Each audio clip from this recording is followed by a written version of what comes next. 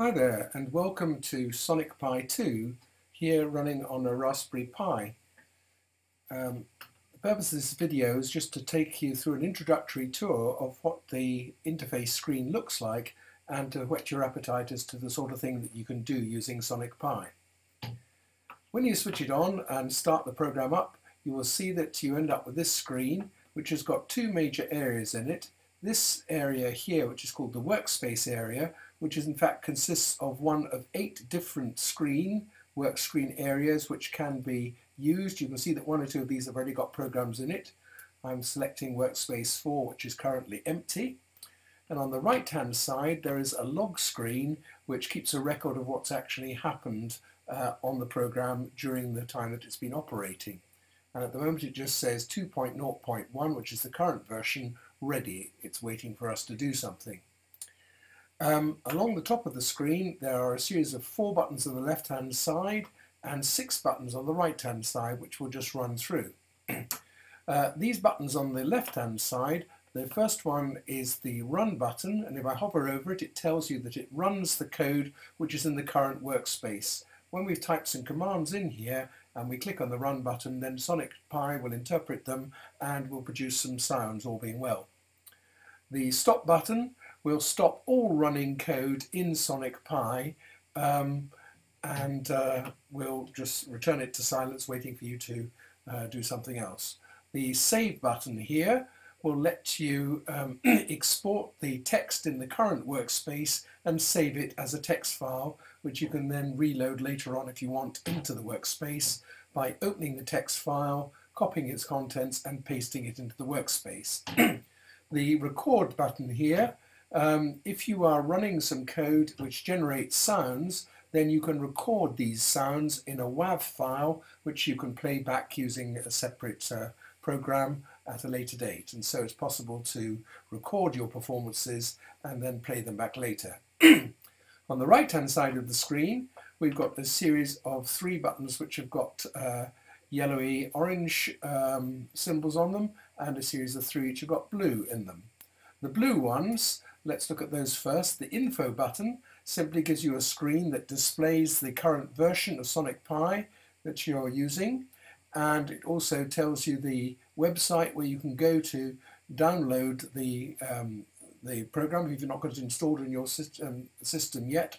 Although if you update your distribution on Raspberry Pi and then use apt-get get install Sonic Pi, it will automatically update uh, the version 1 which you might currently have on your Sonic Pi to the latest Sonic Pi version 2.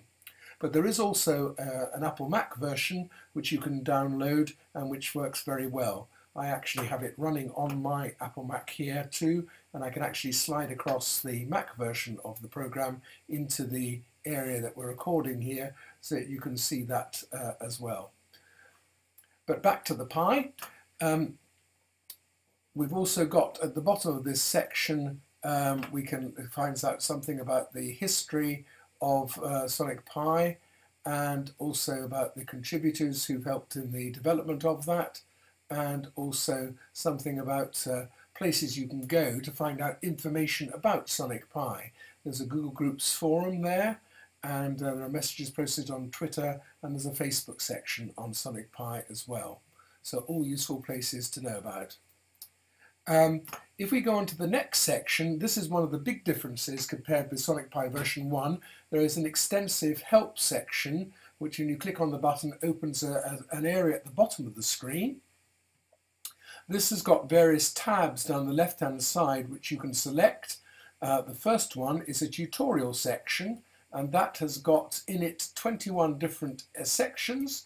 It starts off with a welcome from Sam Aaron, the developer of the program and then you can move straight away onto uh, getting Sonic Pi to do something. And perhaps the easiest thing you can do to that is to use the command play 50 and I can simply copy out of this area and paste that into the workspace area here and we can actually uh, generate our first Sonic Pi um, sound by playing that. And that plays quite a low note, a note of pitch uh, 50 if I raise it, say, to 72, and we play that again, we'll get a slightly higher pitched note. running. And you'll see that on the right hand side in the log area, it tells us now that we've run programs twice. This is the second run, and during that second run, we use the synthesizer called Beep to play a note of value 72. You'll see later on, uh, when you get uh, more into Sonic that it's also possible to use symbols for notes, which if you're used to using music um, or already, music notation already, will perhaps be easier and more comfortable to use. Uh, and we could put in here, say, play colon C5, and if we run that again, that will actually play the same note because a C5 actually has the MIDI note representation of 72, which Sonic Pi uses internally when it's uh, playing notes.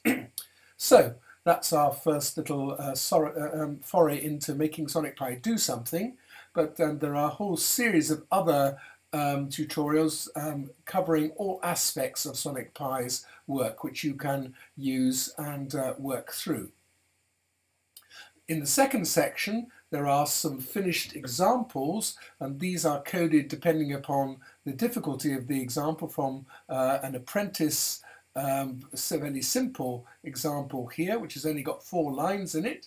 And if I was to copy that and um, paste that into the workspace area here, uh, we could run that as well. And I'm not going to go into detail what this does because there is not time in this uh, quick uh, uh, overview of what the interface looks like, but you can probably get a, a rough idea of what's happening. It shows that there is a loop here of commands which goes from the beginning of the word loop up to the word end here, and essentially it's going to do these two commands in the middle again and again and again. And this is going to play um, a sample in this case, not a note that's generated electronically, but a sample which has been recorded of um, a percussive bell sound. Uh, the rate command here is going to change how fast it plays this sample, and so if it plays it faster, it will sound at a higher pitch than if it's played at a lower rate. And it's then going to sleep or twiddle its thumbs for a random amount of time between 0 and 2 seconds before going back and playing the next bell again. So if we run that, we can hear that operating. You can hear these different bell-like sounds, some of them low-pitched when we're running at a slow rate, some of them high-pitched when we're running at a high rate, and sometimes there's short gaps between them, sometimes there's longer gaps between them. And you can see uh, the actual sounds which are being generated shown in the log file here. And if we click on the stop button, it will actually stop that running and we've stopped the fourth run and we can actually uh, scroll back upwards and see what's actually happened in that run as we do so here. Um, okay, um, so this is the help section. Moving further on down that, under the examples section, there's a section labeled synth, and that actually uses different uh, samples when you're playing something. If we get rid of this, and we simply look and see how the synth commands uh, will operate, here is the beep synth uh, here, um, which is the, um, uh, the default synth which is used by Sonic Pi. Underneath it, it gives you some information about different parameters which can be used by it, which perhaps look a bit daunting to start with, but if you move further down, it actually explains what all of these are. And in the um, tutorials, there are sections on using, for example, the uh, attack, sustain, uh, attack, de delete, uh, sorry, attack, decay, sustain, release um, envelope shape of a note, which can alter what it's going to sound like as it plays. Let's go back and to just see how we might use something like the beat command uh, to choose our synth, which is done by using this command here. Again, we can use copy and paste, which is very much your friend when you're using Sonic Pi. It saves an awful lot of typing. That's going to set the synthesizer which we're going to use and we could then play um, a note um, underneath. Let's play our C5 note again using that synthesizer and it sounds like that. But if we look down this list, we can see that there are other synthesizers we could use. And if we take the last one, which is called Zawa, uh, we can see that that is selected using the use synth Zawa command. So if I just copy Zawa there and replace the word beep here with Zawa and then play that again, you'll hear it sounds very different. A much more electronic sort of sound than the uh, one we had previously and um, we can also then move on to the next section which defines some effects which can be used and superimposed on these different commands. Um, we could see for example that there's an echo effect there and if we were to put this in here we do that by putting the line with fx echo at the beginning there and we finish uh, the bit we want it to apply to by putting the word end on the end here. And as an aside, you'll notice that this is formatted slightly differently to make it stand out the area of commands or the number of commands which the uh, echo effect is going to apply to. The command in the middle is indented. Now I could do that manually, but this is where if we just scoot over to one of the other buttons up here, the Align button, if I click on that, it will automatically indent that command for us. Let's listen to that. And you probably hear there's it actually played about twice. There was an echo effect as it went on. Um, this is actually we'd actually um, see this more if we made that note last for longer. But that's just a very quick introduction as to how the echo effect could be applied to that. Um, and we could perhaps change that to another one which should apply some reverberation to this. Again, it won't be all that pronounced on this short note, but we'll let's see if we can hear what the effect is. You could hear it, it takes longer to die away and if I remove that and play that one more time. Here the note stops pretty dead. Uh, with the echo it went on for a bit longer.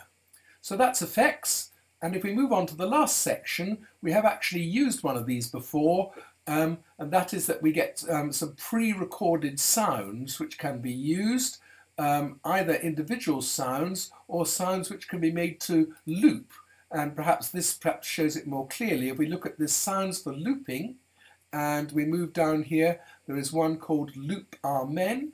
And if we copy that and get rid of all of this stuff up the top and paste that in again, instead of a synthesized sound, we're actually going to get a recording of some um, percussion playing. and it's a very short loop but it's possible to change how long it lasts for and to get it uh, looping continuously if you want by adding a few other commands in it. So uh, the message to put across is that Sonic Pi is incredibly versatile. Your imagination is the limit of what you can do with it and we're really just scraping the surface here in what we've looked at so far. So we've looked at the info window, we've looked at the help window, We've seen how we can have commands in here which we can play by using the run command. Uh, these two buttons here, um, if we click on the size plus, it makes the text in the window bigger. This could be useful if you're displaying this to a large number of people and you want to make the, the commands very clear. Uh, if on the other hand you want to have long lines in there and a lot of them showing on the screen at once, you can actually reduce the size of the text like that. And of course you can get more screen to work on by simply turning off the help screen when you finish using it. So you could see here that we could get quite a large number of lines in here. And in fact, I think if I move back to a workspace that's actually got a program in it, and here we can perhaps just have a brief preview of some other um, code playing on Sonic Pi.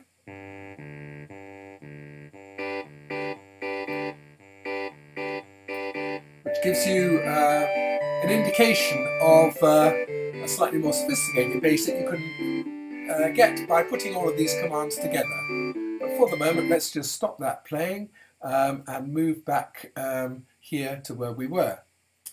Um, if we look at the last screen, which is the preference one there, we can see that it's possible to make various changes here. In particular, we can change the um, source of our audio output. On Sonic Pi, sometimes you can get audio going via the HDMI route, particularly if the monitor you're using uh, will accept audio. And if I do that, you may have heard there was a hiss in the background, which shows that my sound has disappeared because it's now going down the HDMI route, whereas I actually have got an amplifier plugged into the audio output headphone socket. And I'll just switch that back on again there. Uh, the other thing you can do is to uh, adjust the overall volume um, of uh, the sound in Raspberry Pi there um, by putting that up here. And that's the system volume of your Raspberry Pi. And another very useful command is the ability to turn off the output in the log section here, or a lot of it any rate. Uh, if I turn the preferences off again and we come to play this uh, loop Amen again, you'll notice that when it plays, like that, that uh, it just says starting our run and stop at the end. It doesn't show the bit in the middle that it did previously. One other thing actually is a consequence of the fact that I changed to this uh, other workspace down here, I think it was uh, number two here, uh, is that this command has reared its ugly head. I'm going to actually copy it and move back to workspace number four. And before the sample amen, I'm going to paste it in here. Notice again the use of, cost and, of copy and paste. Um, what this does is that if you get a very complex piece of music, it's sometimes convenient to give uh, Sonic Pi a head start and let it do a lot of processing before it actually starts playing. And this is what this rather um, inscrutably named command set schedule ahead time, uh, which is followed by a number of seconds for which you give Sonic Pi a head start so that it can process before it actually starts playing, which is why there was a gap when I ran uh, the sample loop uh, Amen before. Let's try it again. It's going to take four seconds before it starts to play. There it goes now. Let's stop it. I'm going to set that down to something like 0.25 um, uh, seconds and do that again. And this time it starts playing almost uh, immediately, which you can see. I forget what the default time is. I think it might be, it's either quarter of a second or half a second for um, uh, Sonic Pi and Raspberry Pi. I think it's maybe half a second. So we set that to there. We could then actually um, obliterate that command again. But that's just why we got that pause there. So we've been through uh, the Sonic Pi interface there. We've seen that there's this workspace which you can use. There are a, large number of them. I've actually got something in most of mine here. Uh, not all of them at the moment. There's some empty ones there. And um, you can fill, uh, have say eight different programs here and very quickly switch between them by simply switching the workspace which you're using. So I moved in fact from there to, uh, I think in this one I've got another piece there. We'll just perhaps have a very brief listen to the beginning of that as it runs. This is some early music. You'll see that sometimes we don't give it enough time. We can get a warning that Sonic Pi is running slightly behind. We could get rid of that by putting in a set schedule ahead time there. So that is an introduction to the uh, interface Sonic Pi. I hope it, it, it whets your appetite tight to go and have a go yourself. And I hope to produce some later videos which will maybe go through some of these other programs that I've been using and show how you too can use Sonic Pi to great effect. Thank you for listening and watching.